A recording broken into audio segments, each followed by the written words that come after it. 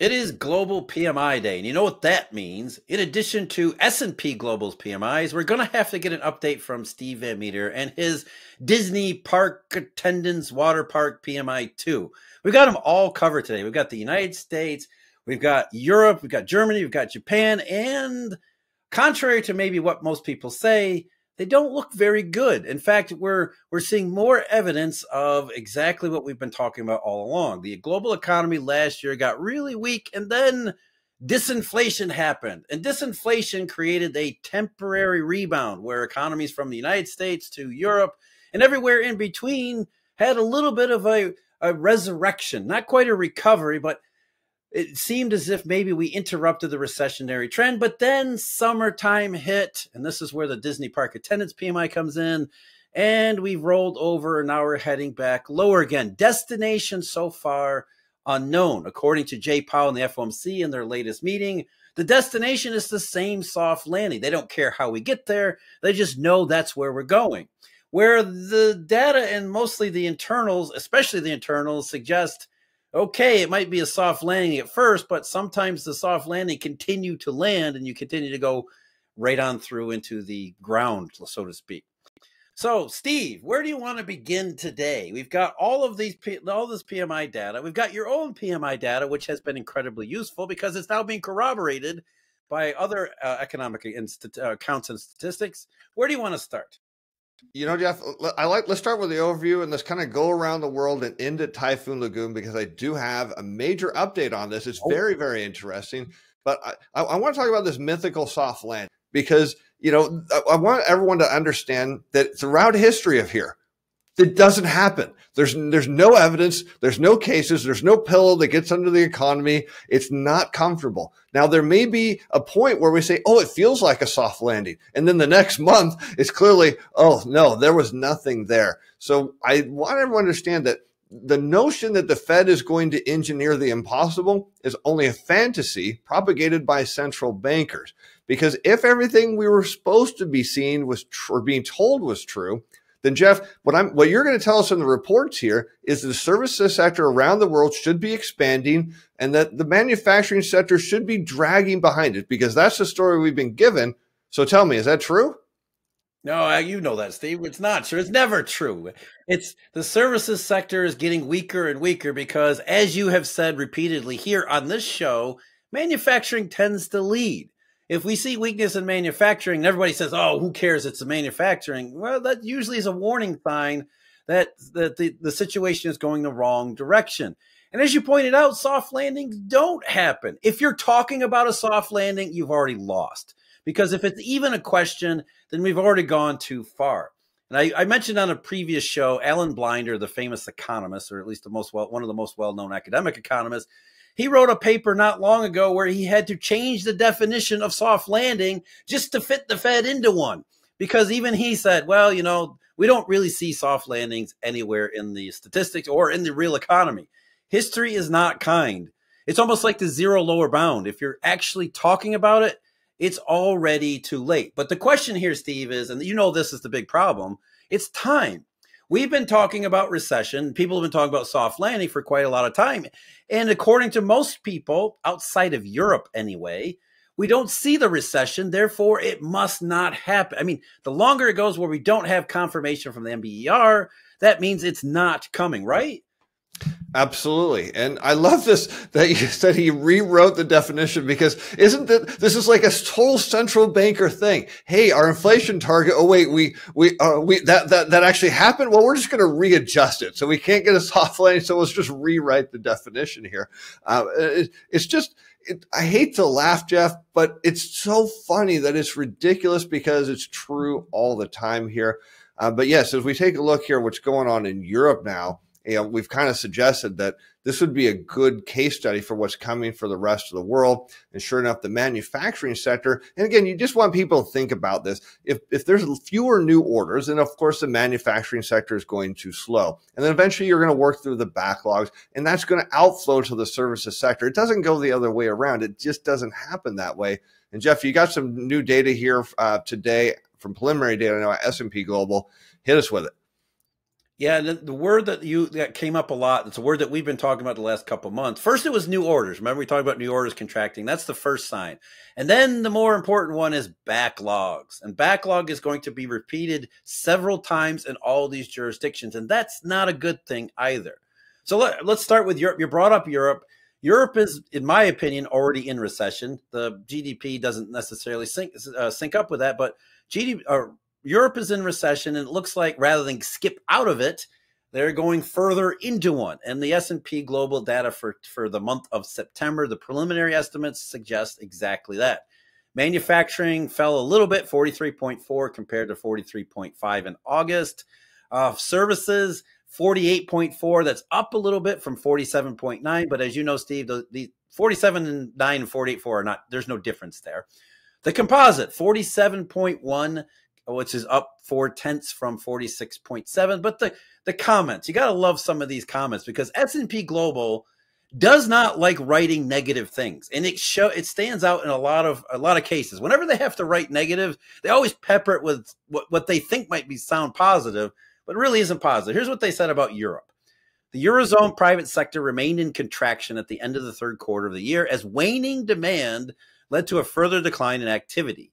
The overall reduction in output was again led by manufacturing, but the service sector saw activity decrease for the second month running. Although firms continued to expand their staffing levels, this is something we got to talk about. The rate of job creation was only marginal amid evidence of spare capacity and the gloomiest outlook since the final quarter of last year. So we went through the downturn, the the dead cat bounces we talked about, I think last week, and now we're back into uh oh, the bounce is over. But Jeff, that sounds like last month because they're saying this almost the same thing of like, oh wait, this is this has got to be the bottom. It can't get any worse. But that's the problem here is it is going to get worse. And I know a lot of people you because we can we can do charts of the PMIs. I know you do that for your subscribers, and you can say, hey, look, these are at levels what we previously seen bottoms, and that gets people excited because there's this whole thing about well, it can't get worse. And then it does. And the problem, the way it gets worse, and I want everyone to understand because you mentioned, Jeff, you know, the employment number there is when you see new orders go down, that just means you're going to take your your workers and you're going to say, "Hey, go work on some of these backlogs." Now the problem is if you work your backlogs way down and you don't get more new orders, then what do you have? A bunch of idle workers. And so management then looks at the situation, says, wait a minute, you know, the central bankers are saying soft landing, the politicians are saying that the economy is going to grow. So we'll hang on for a month or two or three. And the next thing you know, they have to lay off. And it's uh, surprising that we haven't seen this in Germany yet. We have seen it in Germany. Yes, that's that's where we're going next. That's Europe as a whole hasn't gotten to the layoff part, but at least according to S&P Global's data, and you and I were talking before we started, it's already maybe has hit UK, which we won't get into here. But let's talk about Germany because Germany used the two words that we're looking for, and that's backlogs and employment. And you don't want those two words together. You can talk about employment and you can talk about backlogs separately, but you don't want backlogs and employment together because that's the recession stuff that most people associate with recession. So manufacturing in Germany was under 40 for the third consecutive month. 39.2. That's just horrible. Services 49.8. That rose a bit from 47.3 in August. The composite was 46.2, up from 44.6. But again, there's no difference there. And the comment the weaker demand environment saw average output prices rise at the slowest rate for over two and a half years, despite an intensification of cost pressures. That's not a good sign. Employment, meanwhile, fell for the first time since December 2020, albeit only slightly, they have to throw in there as businesses reported shrinking backlogs of work and pessimistic expectations for activity in the year ahead. So, Germany, Europe, recession, then a little bit of a bounce, and then we're back into even worse recession heading toward the, the end of this year. And that's a particular challenge because we're seeing reports that holiday spending is going to decline. And so you start to think about the manufacturing sector, why it's so important is if, if new orders are coming down, then that tells us backlogs are gone. Employment is next. It's unfortunately it's inevitable. There's no way these companies can just sit on you know idle employees for too long. They will have to cut, and then when those people get cut, they go on the employment unemployment line. Well, their income drops, and I want everyone to understand that when their income drops, well, that means their spending is less, and you start to build a. It, it starts as slowly, and I know you believe this, Jeff, and then it accelerates because a few people on the employment line that's okay. Too many, boom, demand is gone. Factories dragging services sector down. And now we get over to the maybe uh, you said we're not talking about the UK, but that's the first place now we've seen in the data where we've seen layoffs start to show up. Yeah, that's I think that's the one part that most people focus on when they talk about the soft landing. They say, "Okay, I hear what you're saying. Manufacturing particular is weakness, services questionable. Yeah, I get the weakness, okay? We understand that, but where are the layoffs? What's going on with the employment market?" And it's and I think one of the things that we, you know, we've talked about this all year is that this cycle is is weird. It's different. It's elongated in a way that we haven't seen before. But that doesn't change the underlying economics, small e economics, that as you just laid out, Steve, unless something actually picks up. I mean, businesses, they don't want to lay off workers, but they're not charities. They're not going to sit on their profits and lose profits forever. They're waiting to see if this does play out in the way Jay Powell said. But the longer it goes, that doesn't mean it's not going to happen. That means the longer it goes where we don't get a turnaround means it's more likely that we're going to see what we're actually seeing in Germany, in the UK, and other places. Businesses are going to have to cut, um, not just in terms of workers, but also their investments, their spending, and a whole bunch of others. They're going to start controlling their cost even more which is compounded by the the the, re, the resurrection and rise in oil prices, which is really badly timed here because we've got a weak economy to begin with, and the last thing we could afford is now higher oil prices. Yeah, I mean, so you look at these companies, right? These kind of infinite pots of money the central bankers think it's like, oh, just give them more raises. I mean, it's like they, they don't they don't have a ton of money because these companies are getting squeezed by inflation too.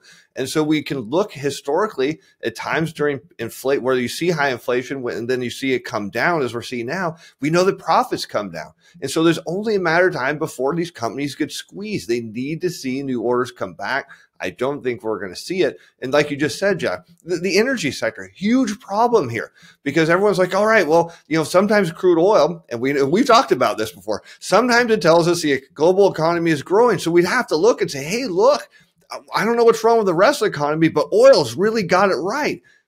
It doesn't always work that way. And so what we're seeing now is these higher energy costs are going to bite into what little discretionary spend or money people have. And it, again, it's all just being shown up in the factory sector. People don't have the money to spend. Oil, like you said, worst possible thing the global economy could see right now is rising oil prices. Yeah, if it was demand, that'd be one thing. But we all know oil is rising because the Saudis are getting their way and working with the Russians and squeezing oil higher, which is just causing enormous pain. But there's there's one quote here from S&P Global. They said substantial decrease in backlogs. Can you guess what they were referring to? Was that Germany? Was that Japan? Who were they talking about when they talked about substantial decrease in backlogs, Steve? Ooh, Jeff, this is a tough one because I didn't read the reports, and you know this. I'm going to go with the U.S. Yeah, surprising to some, the U.S. numbers, the numbers themselves are getting a little bit worse. They're they're they're not really great, but it's the again the underlying internals that suggest we're turning the wrong corner here. So the, by the numbers, manufacturing actually improved by a point to 48.9 from 47.9, but that's it was 49 in July, so that's three straight months where we're dipped back under 50. Services fell to an 8-month low of 50.2, which is services should be around 53. That's really downturn territory. 50.2 where it gets recession stuff already. That's down from 50.5 in August. The US composite for September, 50.1 right there. So down one tenth of a point from 50.2 in August. And it was 52 in July. So again, downward trend. However, S&P Global also notes new orders fell at the strongest pace this year so far as demand for services slipped further into contractionary territory. Uh-oh. Manufacturers also saw a drop in new sales, no surprise, albeit at a slightly softer pace. Got to put his positive spin on it. But here's the big one Pressure on capacity continued to wane as backlogs of work were depleted at a steep pace. That's the uh oh. The rate of decline gained further momentum with outstanding business falling at the sharpest rate since May 2020. Not good there. Efforts to sustain output through work on incomplete orders led to a substantial decrease in backlogs as firms noted lower new order inflows led to increased spare capacity. And that last one, Steve, as you know, increased spare capacity, falling orders, working through backlogs. What is that?